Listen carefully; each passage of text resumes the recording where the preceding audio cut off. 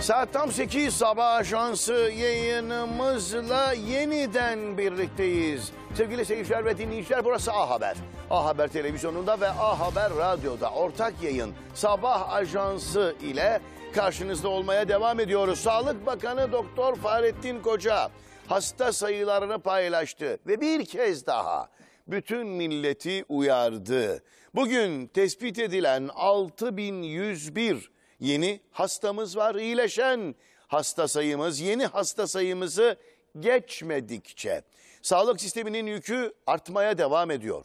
İster zorunlu olsun, isterse gönüllü tedbirlerin hayat kurtardığını unutmayalım. Tedbirlere uyalım çağrısını yaptı. Doktor Fahrettin Koca arz ediyoruz sevgili seyirciler ve dinleyiciler. Uyarılar neler? Uyarılar.